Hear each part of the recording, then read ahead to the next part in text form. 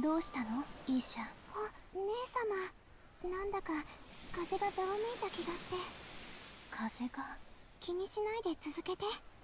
私姉様の笛が大好きだから。ありがとう。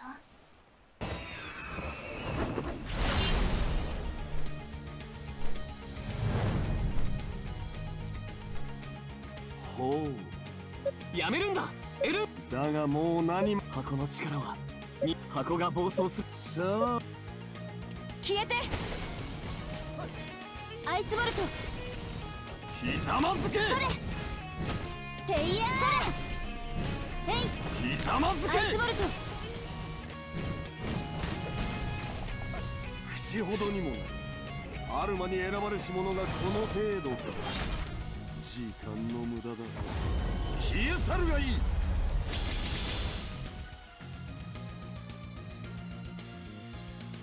遠くない未来。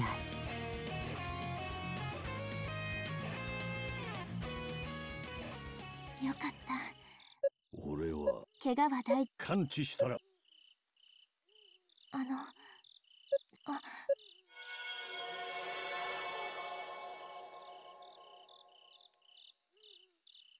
さあここから冒険が始まります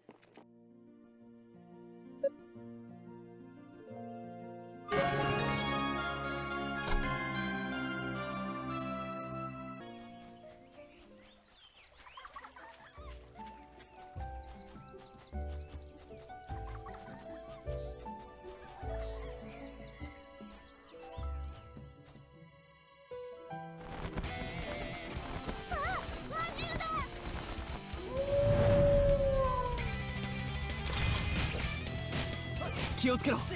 ブロンズ級のホワイトシーラムだ。テイヤー。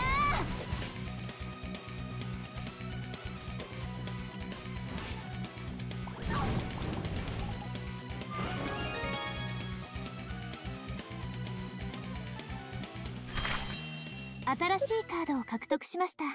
ソウルカードはここから新しく獲得したソウルカードソウルカードを装備しソウルカード装備完了。クエストを続けましょう。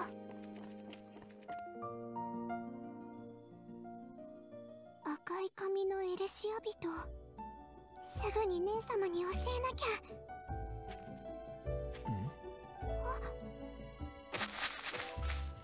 驚かせてしまったかな。あれ？精霊碑が光った。アルマ様どうか私たちに導きを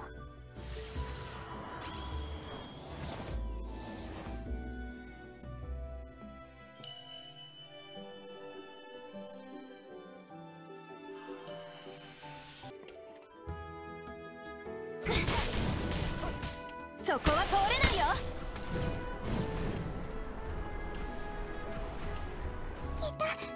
近づかないで。私がすぐに追い払うから急いで逃げて。ブリザードおりゃー。テイヤ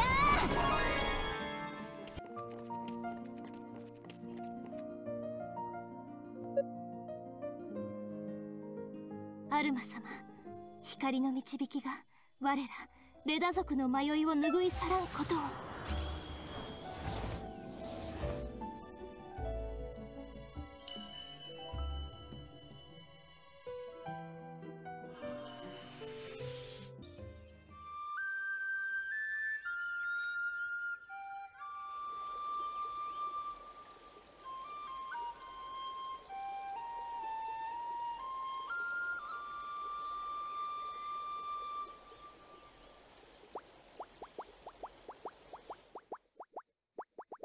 めんなさいね。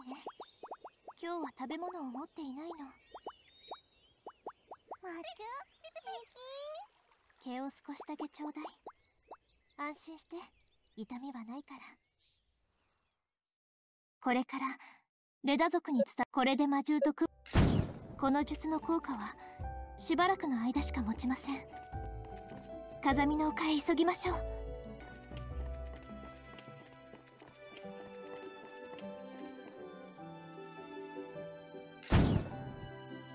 術の効果が切れたの。すみませんアドルス新しいカードを獲得しました。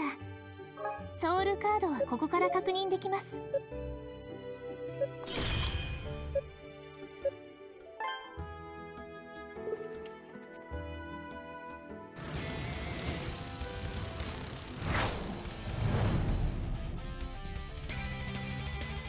あれはシルバー級以上の敵だな。注意しようソウルスキルを使用して元素シールドを獲得できます。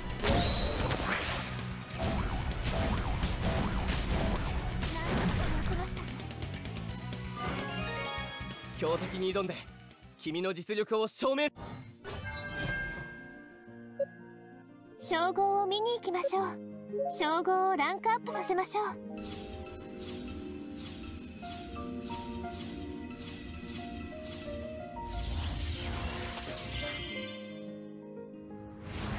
条件達成。この条件も達成称号ランクまた強くなりましたね。さらに冒険に行きましょう。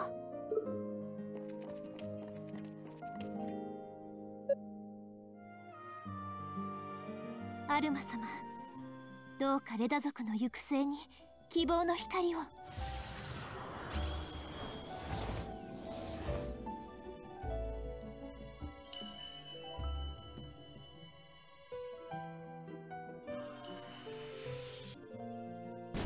なんだ？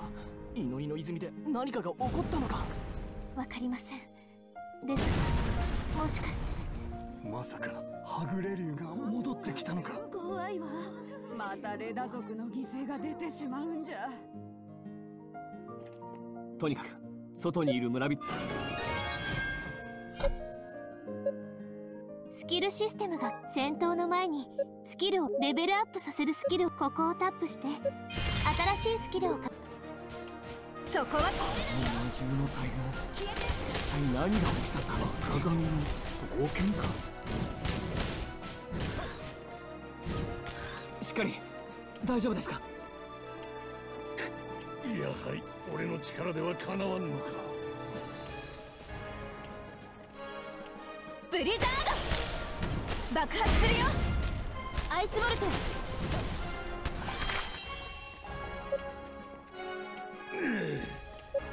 時の日。オード族ザ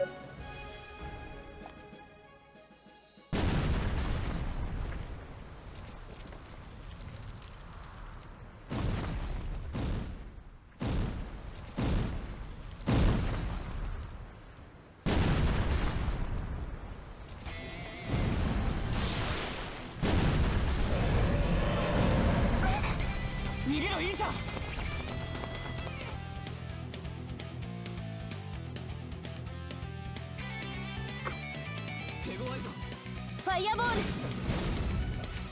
消えて。そこは通れないよ。爆発するよ。ファイアボール。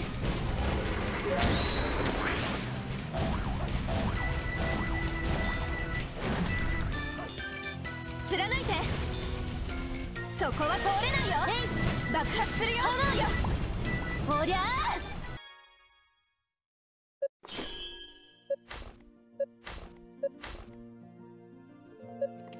アドル。イーシャをここに。